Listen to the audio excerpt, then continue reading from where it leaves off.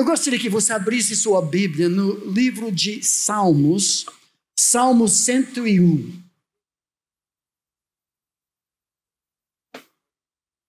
Okay. Salmo 101.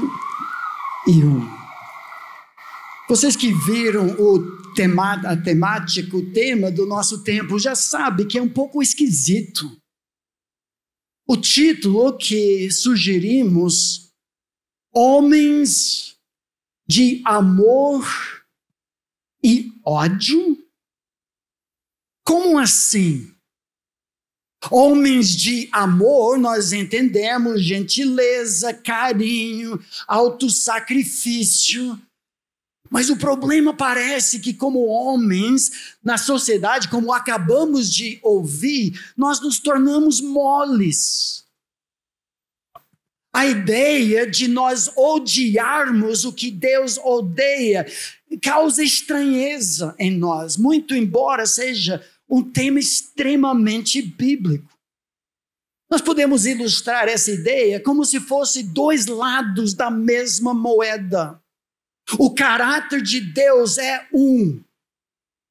Quando nós estamos andando com o vento às costas, na mesma direção com Deus, andando com o Senhor, vivendo o temor do Senhor, nós sentimos o fluir do Espírito, da palavra, o amor de Deus nos cerca, nos envolve e nos leva embora.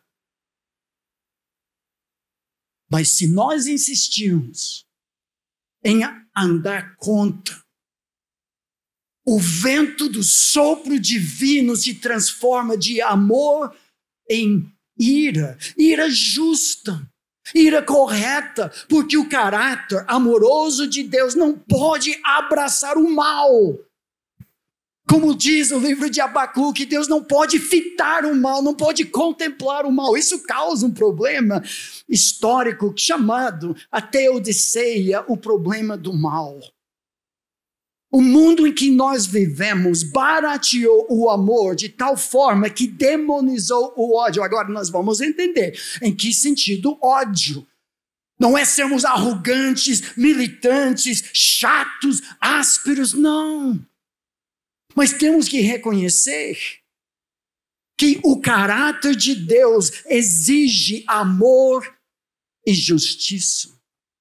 Foi o próprio Billy Graham, enquanto vivo, que disse assim: Nós na igreja falhamos em lembrar a esta geração que enquanto Deus é amor, ele também tem a capacidade de odiar. Ele odeia o pecado, e o julgará com o furor da sua ira. Esta geração é educada no ensino sobre um Deus indulgente e de coração mole, cujos julgamentos são incertos e que mina aquele, e que mima aqueles que quebram seus mandamentos. Essa geração acha difícil acreditar que Deus odeia o pecado. Digo a você que Deus odeia o pecado, assim como um pai odeia uma cascavel que ameaça a segurança e a vida de seu filho. Deus detesta as forças malignas e diabólicas que levariam as pessoas uma eternidade sem Deus. Assim como uma mãe odeia uma aranha venenosa que é encontrada brincando na carne macia e quente de seu bebê. É seu amor pelo homem, sua compaixão pela raça humana que leva Deus a odiar o pecado com tanta vingança. Ele deu o melhor do céu para que pudéssemos ter o melhor. E ele detesta com uma aversão santa qualquer coisa que impeça nossa reconciliação com ele. Doutor evangelista Billy Graham. Muitos anos atrás, a nossa consogra hoje, a sogra do meu filho, estava junto com uma mãe e uma filha mostrando álbum de fotos de casamento, porque é o que faz no sítio dele, eventos e casamentos. Enquanto a dona Silvana mostrava as fotos de outros casamentos, o cachorrinho estava fora da porta latindo. E irritava, como eu acabei de irritar a vocês. E finalmente a dona Silvana, não aguentando mais, levanta-se, vai perto da porta, quando de repente sai debaixo de um armário uma cobra de três metros. Uma piton africana agarra-se no calcanhar dela e tenta puxá-la. Imagina o susto. Graças a Deus que o seu Américo, nosso consogro hoje, porque meu filho era adolescente na época, se não me engano, tinha uma espingarda que conseguiu por fim ao perigo à vista em casa. Uma cobra de três metros dentro da própria casa. Meus irmãos, nós odiamos a cobra. Detestamos uma cobra dentro de casa. Mas deixa de dizer, esse ódio que Deus tem diante da perversidade, da malícia, da impureza sexual, causa um nojo nele como uma cobra, mas o problema para nós, a cobra está em casa, mas pior, está em mim, está no meu coração. Quando eu acesso coisas que não devia, Deus odeia isso, Ele não me odeia, mas Ele vê o, o perigo disso em nossas vidas, Ele detesta, Ele nos clama para sermos homens mais parecidos com Jesus.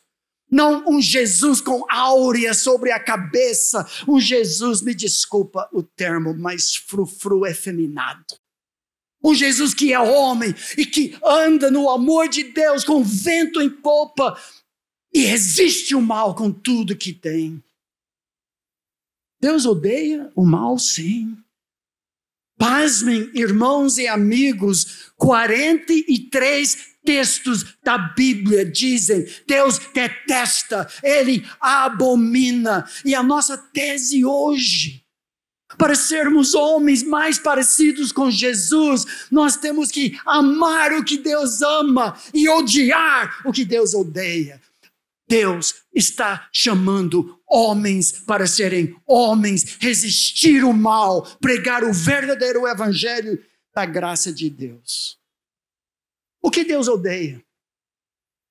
Atos homossexuais, Levítico 18, 22, bestialidade, ídolos e a fabricação de ídolos, sacrifícios defeituosos, adoração de sol, estrelas, adivinhação, astrologia, feitiçaria, bruxas, encantadores, mágicos. Sim, eu vou ler toda a lista para vocês necromancia, transvestismo, prostituição, recasamento leviano, balanço enganoso, obreiros de iniquidade, os maus, os que amam violência, os perversos, a soberba, violência, os que planejam o mal, pés que correm para o mal, a testemunha falsa quem semeia contendas entre irmãos, mentira, o sacrifício do maldoso, os caminhos dos maus, os pensamentos dos maus, os orgulhosos, os que justificam os iníquos, os que condenam os justos, sacrifícios em vão, festas hipócritas, roubo de oferta, idolatria, planejamento contra o próximo, juramento falso, divórcio e as obras dos nicolaítas. Deus aborrece e nós temos que aborrecer também. Para sermos homens mais parecidos com Jesus, nós temos que amar o que Deus ama e detestar o que Deus detesta. E isso começa nos nossos lares. Salmo 101 tem esse tema, e o meu alvo nesses momentos que nós temos é, como expositor bíblico da primeira igreja batista de Atibaia, professor do seminário da palavra da vida, a minha paixão é explicar e aplicar as escrituras. Vamos fazer isso em dois salmos. Salmo 101, que fala do que Deus, Deus detesta e como o homem de Deus também detesta. E Salmo 112, que é em contrapartida com a mulher virtuosa, é sobre o homem virtuoso. Até mesmo um poema acróstico. Salmo 101 fala que nós devemos odiar o que Deus odeia. Esse salmo é de Davi representa a resolução do coração dele. Eu quero é ser um homem de Deus. Nós sabemos das falhas de Davi, sabemos das falhas do lar, sabemos de falhas morais. Mas o coração dele íntegro faz com que ele, no final da vida, pela graça de Deus, apesar das falhas, como você e como eu, fosse chamado amigo de Deus. É possível ser íntegro, sincero no mundo que jaz no maligno. Olha o desejo de Davi. Ele começa apontando para Deus. Cantarei, literalmente, Paulo César, eu farei música a respeito do Hesed e do Mishpat, da bondade, do amor, esse Deus amoroso carinhoso, mas também da justiça, o mishpat de Deus. A ti, Yahvé, cantarei. Eu quero com sabedoria refletir no caminho da perfeição, da sinceridade, da integridade. Como nós ouvimos, eu não quero ser um homem de duas bocas. O homem bom, como diz o salmista, se compromete, faz votos e paga, custe o que custar. Mas olha o desejo no final do versículo 2, quando ele diz: oh, quando virás ter comigo? Oh, Deus, quando virás ao meu encontro?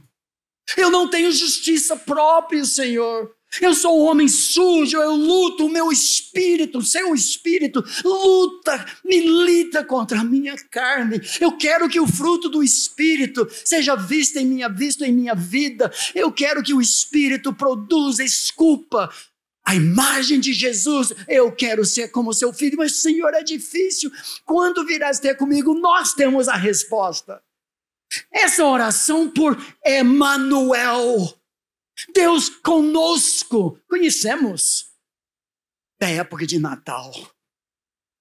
Emmanuel, conosco Deus. Não são as exatas palavras usadas da língua hebraica aqui, mas o desejo é o mesmo. Só em Jesus que eu posso ter uma vida de integridade. Eu sou vaso de barro, eu não consigo em mim mesmo. Davi reconhece isso. Amém? Mas olha o que ele diz depois. Três observações desse, nós vamos pular para Salmo 112. Enquanto alguém está orando, eu vou correr para a praça de alimentação para pegar comida para mim, para mim, brincadeira. Olha o que ele diz. Sabendo que Deus é a única fonte, ele vai louvar a Deus, cantar para Deus, o Deus amoroso, mas o Deus também da justiça. Ele resolve em primeiro lugar, repudiar o que não presta.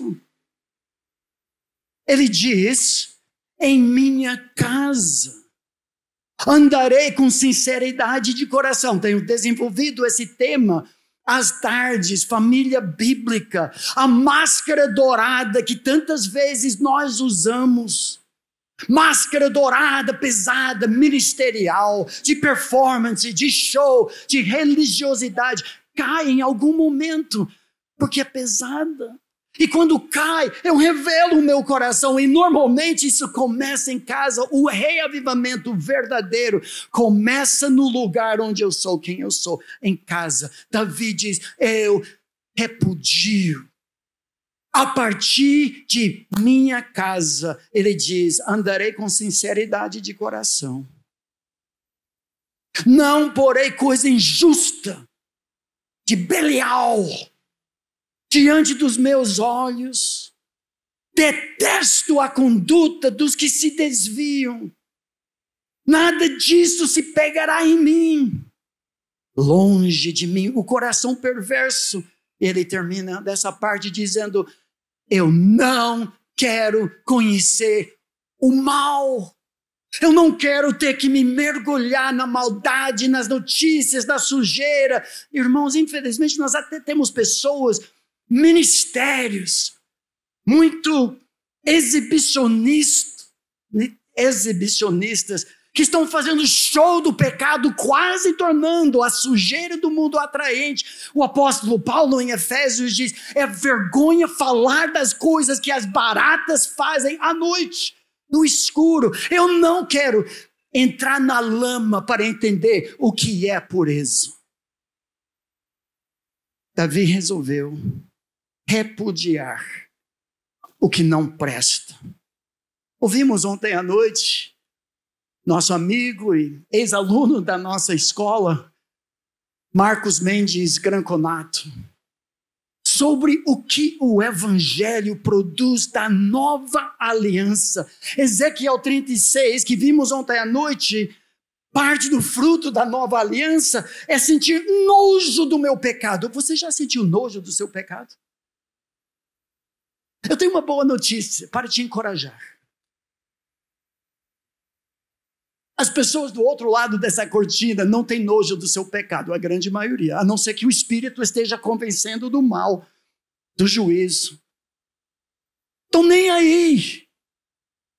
Mergulhados na pornografia, horas a fio traindo suas esposas, sua consciência não pesa, porque eles não têm o espírito. O fato de que você sofre, você tem nojo porque você teve mais uma recaída, talvez seja um sinal de que o espírito habita em você mesmo, porque o espírito milita contra a carne, a carne milita contra o espírito.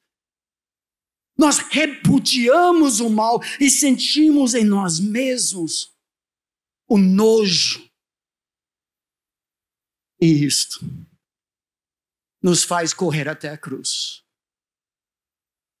O Deus de amor e justiça. A vida cristã se resume num, numa atividade bipolar.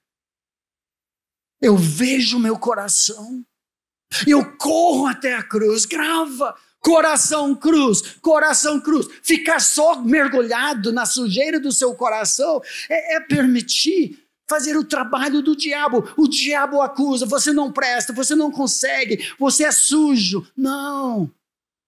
A obra do Espírito, inclusive da exposição bíblica, é revelar o coração do homem, revelar para os nossos filhos sua necessidade de Cristo, mas sempre fazer isso. Mas Deus em Cristo. Davi fugia do mal. Certa vez, o autor Mark Twain, dos Estados Unidos, disse que a melhor maneira de enfrentarmos a tentação é pela fuga. Nós não fomos feitos para peitar a tentação. Tentação nos tenta, nos seduz. Mas se nós beliscarmos o queijo do pecado, em algum momento nós mesmos seremos pegos. Sete pessoas acordaram ali naquele canto agora.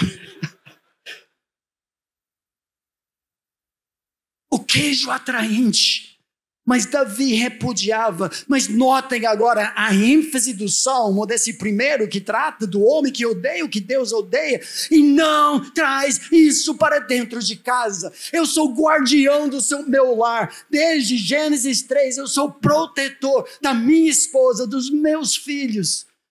Três vezes o salmo, olha o versículo 2, ele diz: Portas adentro, em minha casa.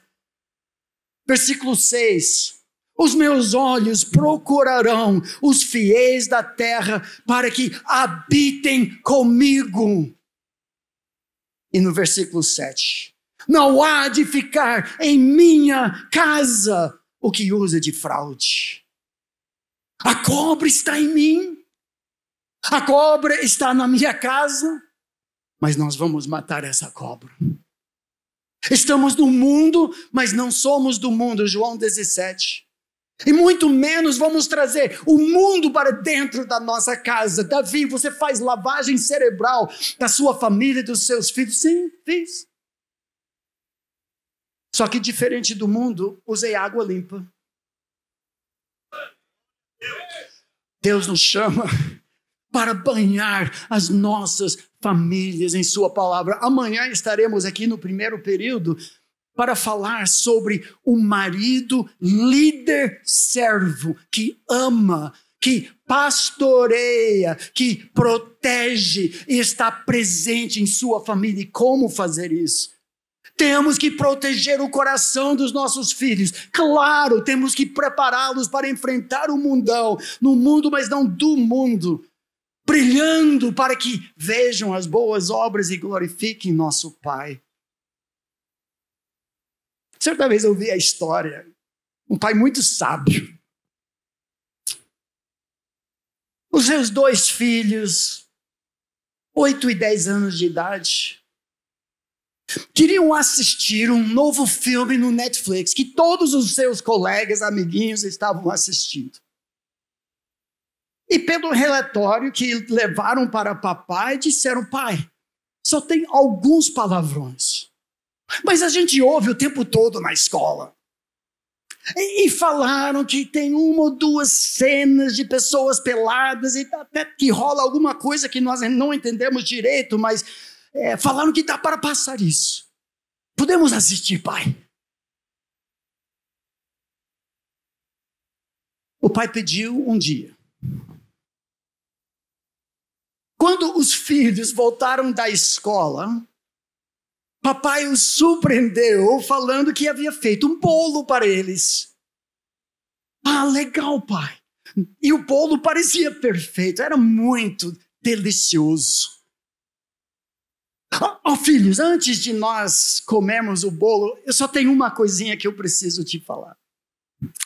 É que ao fazer esse bolo maravilhoso, eu peguei um pouquinho de cocô do cachorro e misturei junto com a farinha. O que? Não, mas filho, é, é só um pouquinho, não é muito cocô, é só um pouco. Dá para desperceber. É, pai, isso é nojento, nós não queremos ver isso. Pois é, deixa eu responder o seu pedido de ontem. Não há de adentrar na minha casa o que é mal. Eu não quero conhecer o mal. Eu não posso fugir isso de outdoor, de colega, de prostituta na esquina, enquanto vamos para a igreja. Mas eu não preciso trazer o mal para dentro de casa. Eu não quero conhecer o mal. Davi faz mais uma coisa aqui. E nós que somos guardiões da alma, da internet, do celular, sim, dos nossos filhos. Um dos nossos programas de YouTube tratou de pais que vigiam o que os filhos assistem nos aparelhos. Primeiro, se seu filho de menos de 8, 10 anos já tem um aparelho, provavelmente já está assistindo pornografia. Todas as estatísticas apontam para esse cuidado. Segundo, é nosso direito, não, é nossa responsabilidade vigiar o que entra pelas portas pela internet. Certa vez alguém com muita propriedade diz: na internet a gente navega ou naufraga. Eu sou o guardião disso, do meu lar. Mas Davi termina esse salmo falando que ele repudiava não somente o que não prestava em casa, mas dos companheiros. Olha a parte final do texto. Versículo 4, ele diz: Longe de mim o coração perverso. Não quero conhecer o mal. Versículo 5. Ao que as ocultas caluniam o próximo, o fofoqueiro. A esse destruirei. Davi, calma, o que, que é isso, meu? O que tem olhar altivo. O coração soberbo. Não o suportarei. Os meus olhos, três vezes nesse salmo de entretenimento do povo de Deus, ou bloqueio, trata dos olhos. Os meus olhos procurarão os fiéis da terra para que habitem comigo. O que anda em reto caminho, esse me servirá. Não há de ficar em minha casa o que usa de fraude. O que profere mentiras não permanecerá ante os meus olhos. Manhã após manhã destruirei os ímpios da terra para limpar a cidade do Senhor dos que praticam a iniquidade. Essa foi a resolução de Davi, de ser guardião. O livro de Provérbios fala muito da influência dos colegas, dos companheiros, do que nós assistimos também. Quem anda com os sábios será sábio, mas o companheiro dos insensatos se tornará mal. Provérbios 13, 20. Quem são os influenciadores na minha vida, na vida, vida da minha esposa? Deixa eu dar um parêntese aqui. Algo que muito me preocupa na igreja que tem mais influências na própria igreja, em que família que faz culto doméstico, os filhos são treinados a ter algum tempo devocional com o Senhor, em que nós tentamos servir ao Senhor, em que nós não assistimos aquele programa do Netflix, são tidos como extraterrestres estranhos. Mas não é isso que Paulo fala. Um parêntese. Cuidado com os colegas dos seus filhos as amizades dos seus filhos e os influenciadores dos seus filhos e da sua esposa. Algumas delas têm 50 milhões de seguidoras, são mamães jovens de 28 anos, têm primeiro bebê de seis meses, estão ensinando as nossas esposas e a nós mesmos como ter um lar piedoso, mesmo sendo crentes. É por isso que temos Tito 2. A sua esposa precisa de uma mentora, uma senhora de mais experiência, mais idade. Já ouvimos um pouco sobre isso. Mais conversações corrompem os bons costumes. Salmo 101. Deus, Davi repudiava o que não prestava os que andam contra o vento, o sopro do Espírito na pessoa de Deus. Mas eu quero mudar de marcha agora. Vire alguns quarteirões da sua Bíblia, do livro de Salmos, para Salmo 112. Eu quero terminar o nosso tempo elevando os nossos olhos para o outro lado da moeda. Homens que amam o que Deus ama, e é bênção sobre bênção sobre bênção. Esses homens criam um legado, não deles, mas do Senhor. Irmãos, cada um de nós está ou iniciando na fé cristã ou continuando um legado. O, o meu filho tem o privilégio de ser o bisneto de um grande evangelista, o fundador do ministério chamado Palavra da Vida no mundo. Jack Wurtzel repassou o bastão da fé para cinco filhos.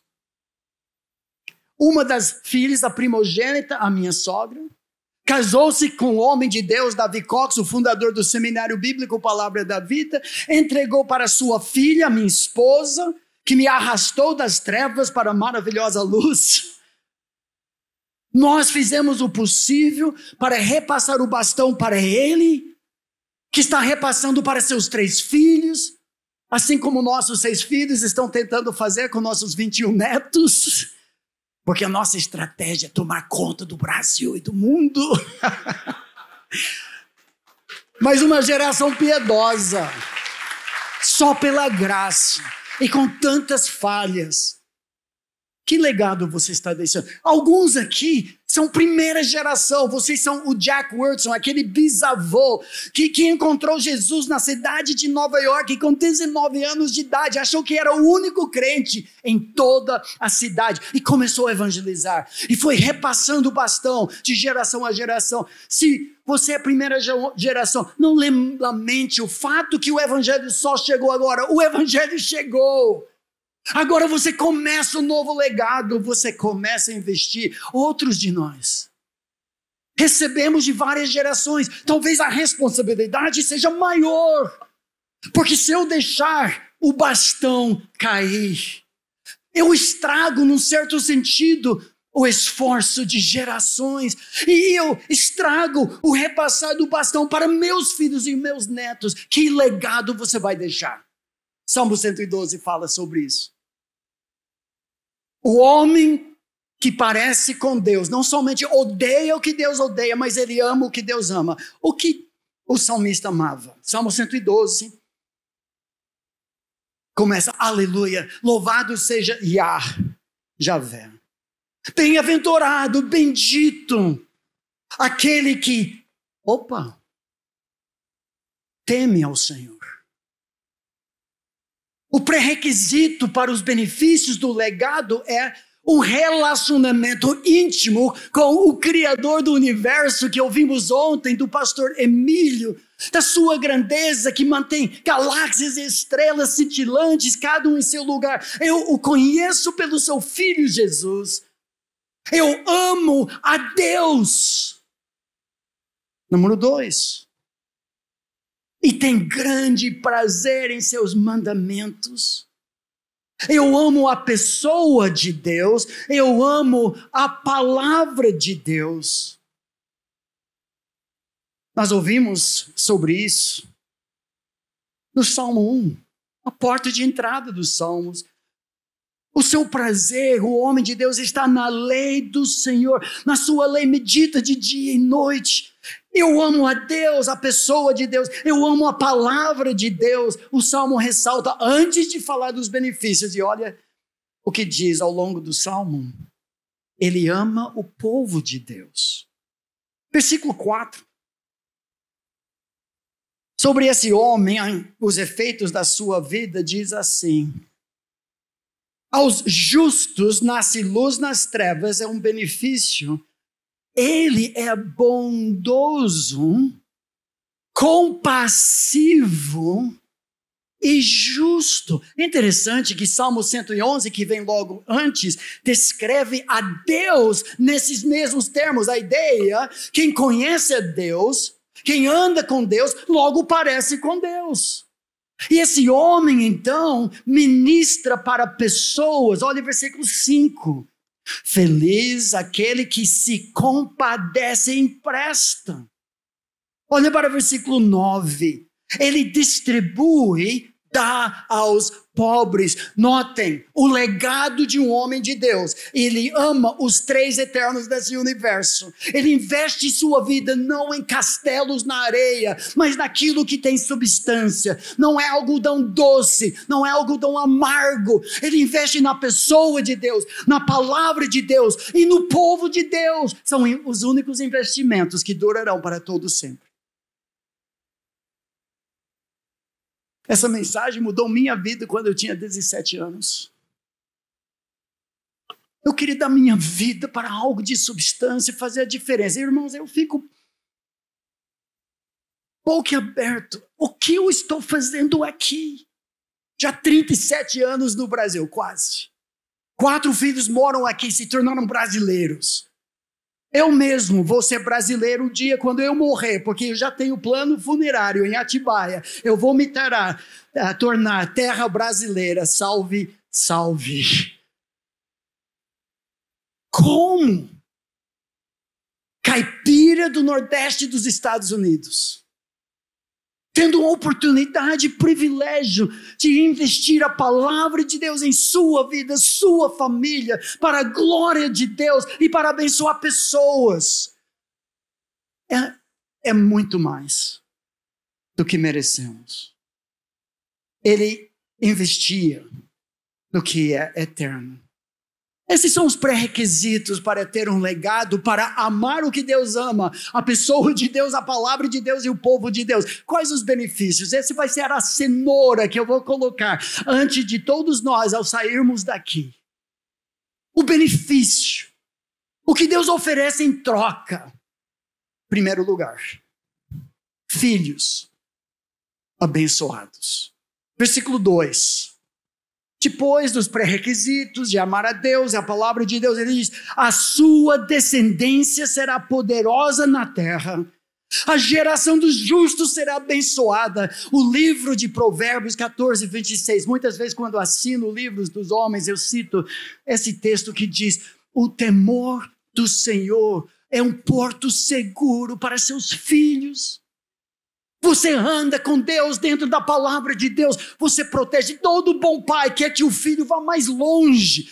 Se eu fosse mais jovem, mais forte, eu pegaria meu filho para ficar nos meus ombros, mas eu não consigo mais fazer isso. A ideia, o bom pai quer que os filhos, eu tenho toda certeza que isso está acontecendo, já aconteceu. Eles sobem nos nossos ombros e vêm mais longe tem mais impacto. A geração dos justos é abençoada, os filhos. Versículo 3: prosperidade na sua casa. Na sua casa, a prosperidade e riqueza não é a ideia necessariamente de saúde, dinheiro, mas todas as coisas sendo iguais, Deus não é teólogo da prosperidade, mas também não é teólogo da miséria. Por isso ele nos deu provérbios. O livro de Provérbios mostra para nós as entradas e saídas do labirinto da vida, para tomarmos decisões acertadas e todas as coisas iguais. Nós fugimos dos vícios, fugimos das coisas que podem arruinar nossa família e a prosperidade. A não ser que Deus queira que o livro de Jó aconteça em nossa vida. Terceiro lugar, e aqui o coração do salmo. Um legado perpétuo.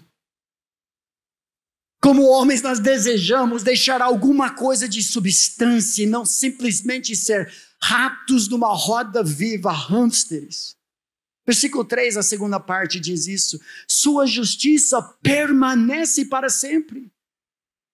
Versículo 6, será tido em memória eterna. Você sabe, seus bisnetos provavelmente não vão nem saber seu nome, mas não importa. Hebreus 6,10 diz que Deus não é injusto para esquecer o que você fez. A sua memória, por causa dele, será tida em perpetuidade. E depois, no versículo 9, ele diz de novo: a sua justiça permanece para sempre. Um quarto resultado que nós encontramos: filhos abençoados, prosperidade na casa, um legado é direção na vida. Quem ama Deus, a palavra de Deus e o povo de Deus, versículo 4. Aos justos nasce luz nas trevas. Eu acho que não tem saída, não sei o que fazer, mas eu amo o que Deus ama e a luz no final do túnel.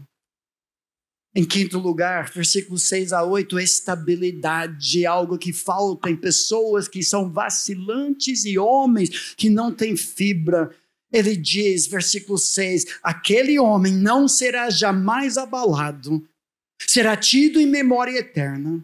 Ele não se atemoriza de más notícias. O seu coração é firme confiante no Senhor. O seu coração bem firmado não teme até que veja a derrota dos seus inimigos. Luz no final do túnel. Estabilidade, uma âncora, uma rocha em que os seus filhos podem se amarrar à sua esposa. E no final, o sexto resultado é vitória. Não necessariamente na terra, mas eventualmente. Versículo 9, ele diz: No final, o seu poder.